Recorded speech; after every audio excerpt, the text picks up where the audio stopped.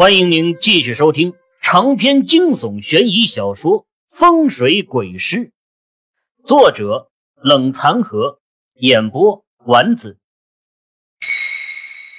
第七十四集。老胡感动的连向我们磕了几个响头，我真受不了老胡这一套啊！求你的时候他是孙子，你在他手心的时候。他就是阎王爷，什么事儿不要脸，他就能做出什么事来。我们同学呀，都讨厌他。可是话说回来，老胡只是人品有点差，但罪不至死啊。他遇到这种事情，恐怕早已经遭遇到了世界上大多数的痛苦，该受的惩罚都受过了。我也没有权利来嘲笑他，毕竟啊，后来老胡帮了我不少忙。我却没有实质性的给他提供任何帮助，想起来我就有些内疚啊。看到老胡，我就想起赵家大公子也是配了阴婚的。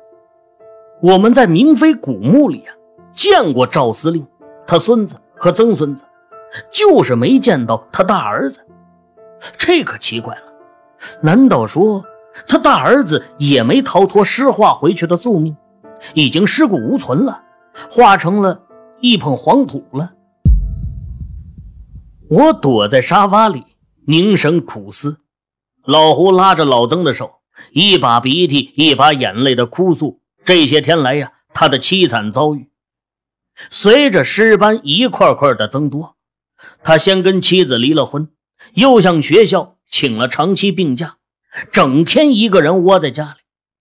可窝在家里也不是办法，他们住的是学校临时安置的教职工宿舍，附近住的都是邻居熟人，彼此啊抬头不见低头见的。老胡在窝家里，也总要出门买菜做饭吧。不管他怎么小心翼翼，有几次啊，都差点被同事看出破绽。于是啊，老胡再也不敢住学校了。只好来找他朋友里唯一觉得仗义的老曾。老曾安慰了老胡一会儿，就提着菜篮子出门买菜去了。老胡跟我相对而坐，外面夕阳的光芒照射进来，衬托的老胡满脸的尸斑格外明显。老胡的表情绝望又狰狞，见我不敢看他的脸，他识趣的拿花头巾又把自己包了起来。我赶忙解释说：“，胡老师，其实我不是那个意思。天气这么热，咱们在家里不搞这一套啊。”老胡叹气说：“呀，哎，你别安慰我了，我知道自己是个什么样子。别说是你，就是我自己照镜子，都会被自己给恶心吐了。你说我现在有多丑啊？”我俩坐在沙发上。相对无言，我给老胡倒了杯茶，老胡一口喝干，说道：“小天呐，我跟你说件事情，你可一定得给我保密啊，千万别说出去。”我点了点头，盯着老胡浑浊的眼睛，等他的下文。老胡喃喃说：“呃，其实几天前赵家大公子找过我。”跟我谈了很久，我心里一颤呐，正琢磨着赵家大公子呢，就有大公子的消息了。我在明妃古墓里没见到大公子，以为这人已经尸化死了，想不到他竟然还活着。从时间上来推算呢，他跟我爷爷是一辈的人，怕是已经有七八十岁的高龄了。我又想到赵司令的孙子赵一平的爹，暗想这赵家大公子配冥婚的时候，他还没有子嗣啊。别说赵一平是大公子的后代了，那就更惊悚了。这尸体还能生孩子，这可要改写整个医学理论体系了。我问老胡说：“大公子找你做什么？”老胡吐了口唾沫。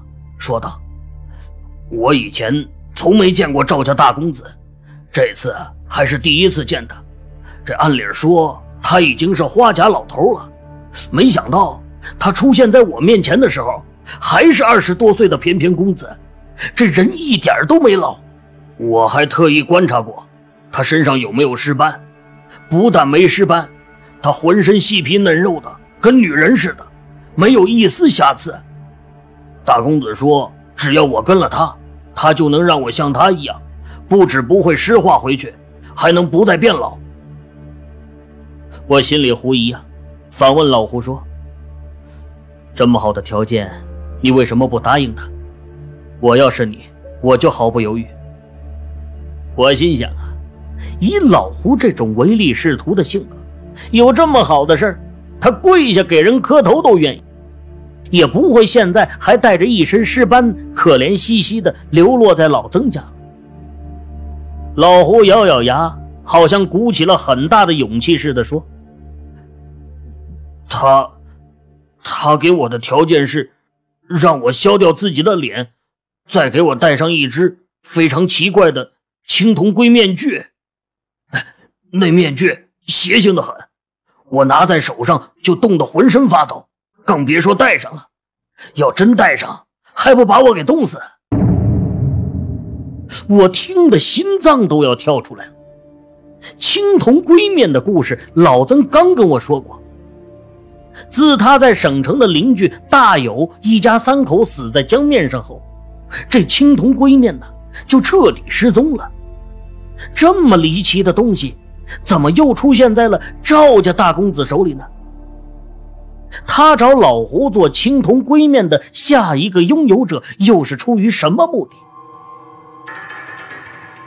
我看了一眼老胡，夕阳已经沉下山去，客厅里。此刻变得无比的阴暗。我看着老胡的眼睛，他的目光恐惧而呆滞。我问老胡：“你没答应赵家大公子的要求，他就这么走了？”老胡说：“他走的时候很生气，警告我说只给我这一次机会，错过了就没有下次了。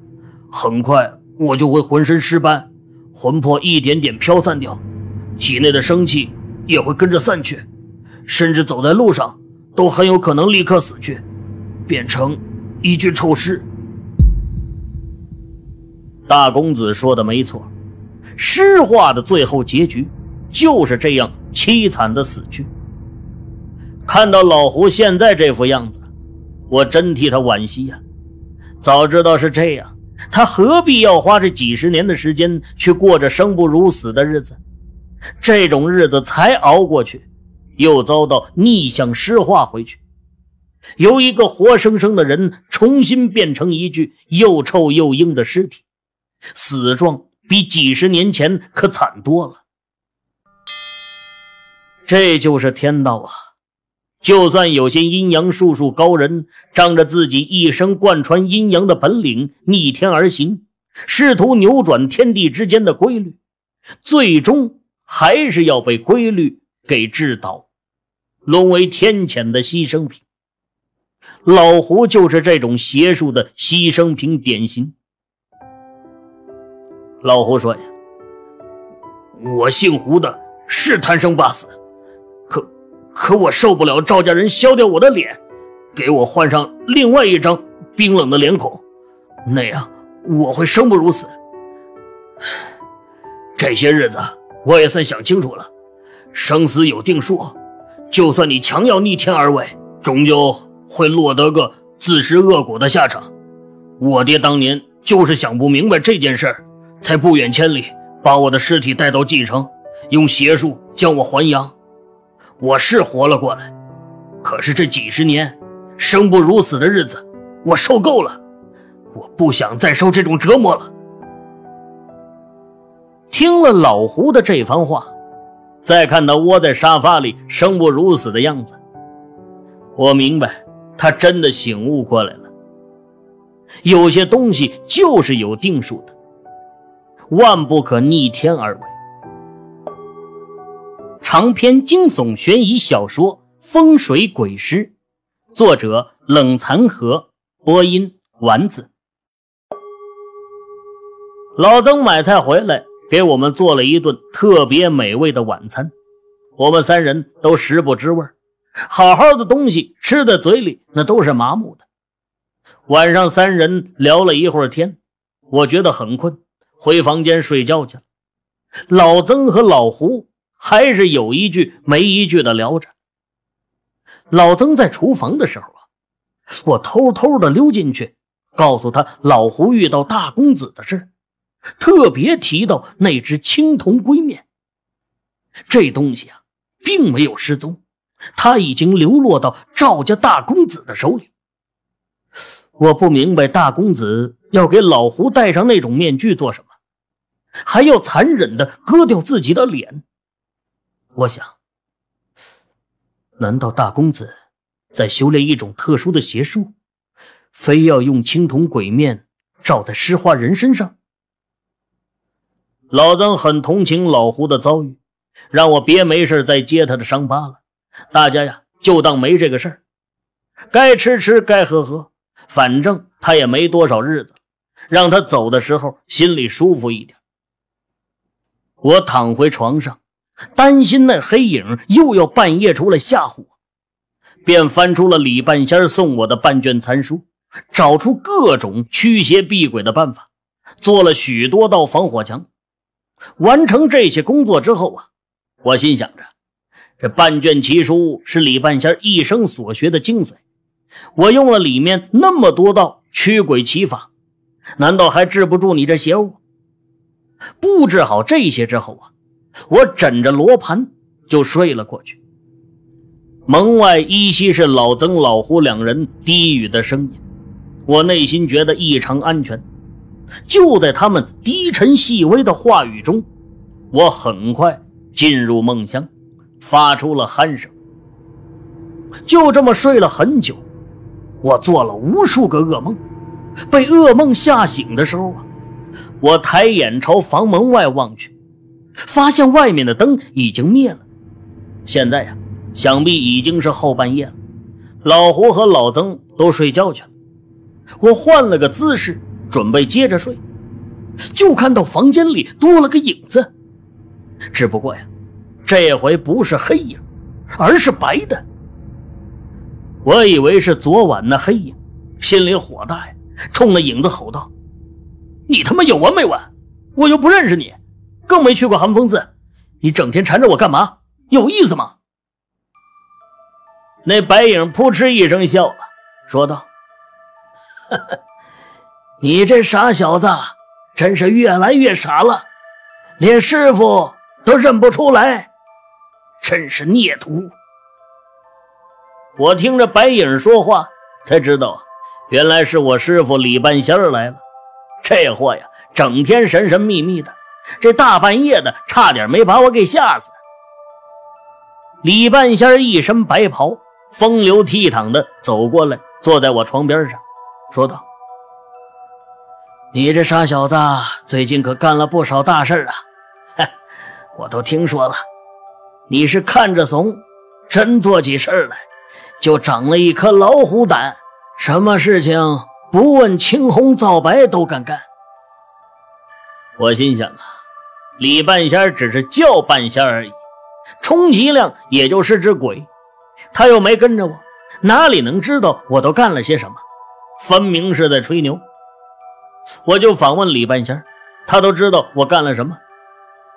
李半仙假装生气说：“哼，收起你的花花肠子，想套你师傅，没门儿！我这回来可是提醒你，你把事情闹大了，现在处境很危险的。你一直想追查的一些线索，也别查了，有不少人已经注意到了你。”你随时啊都可能有生命危险。另外，你还记得我从黑白无常手里把你夺过来的时候吧？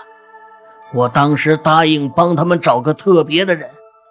你现在查的线索里就有一条跟他有关。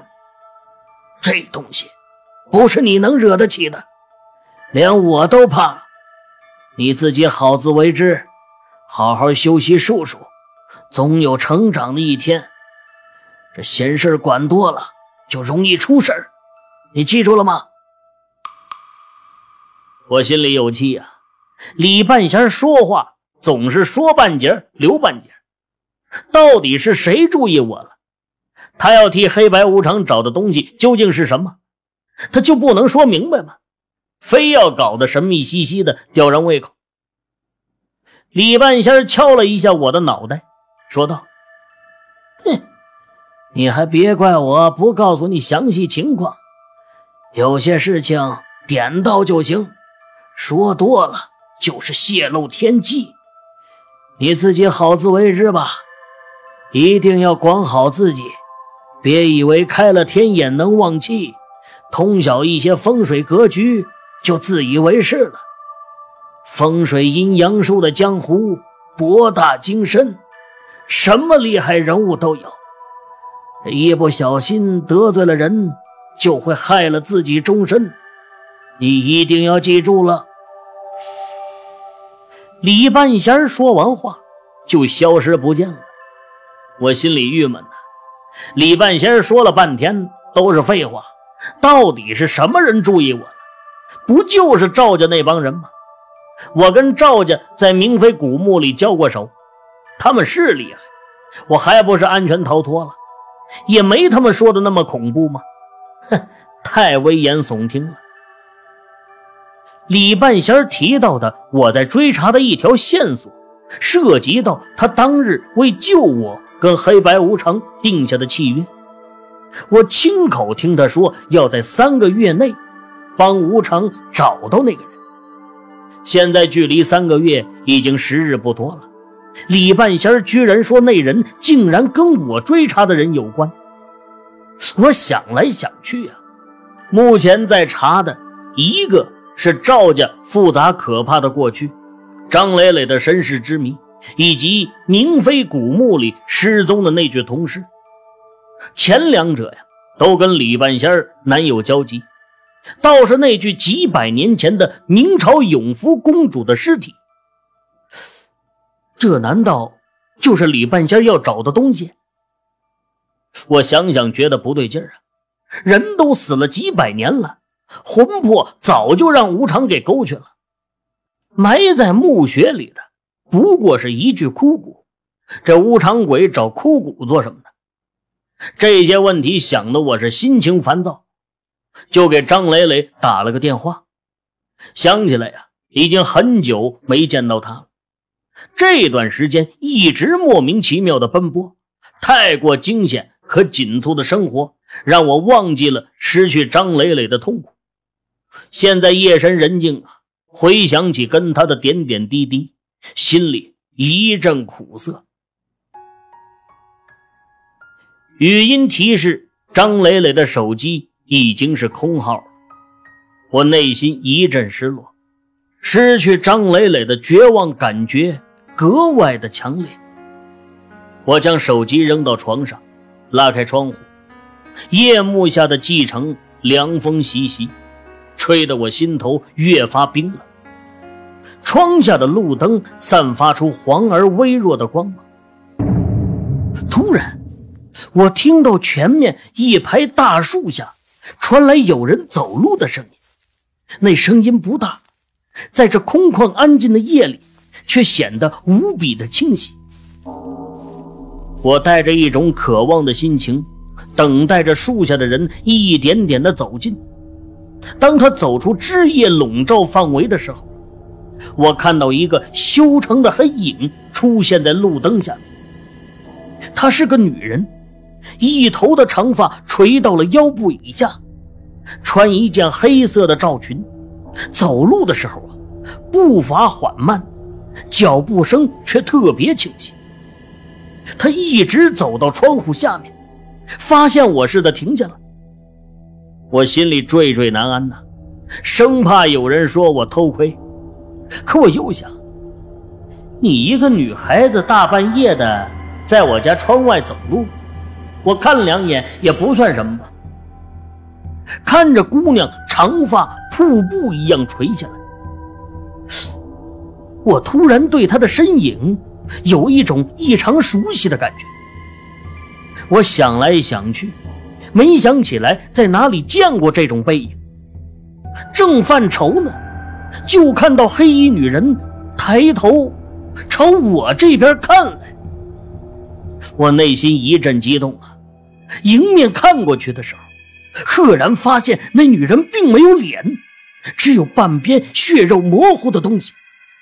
血肉中间呢，有块很大的血槽，想必那就是嘴巴了。我吓得赶紧拉上窗户，一屁股坐在沙发上，胆子都麻了。我活到这么大年纪，还从没见过这么血腥恐怖的场面。在床上坐了半天，才冷静下来。我再次朝外面望去的时候，发现路灯下静悄悄的，连个鬼影子都没有。我顿时就懵了。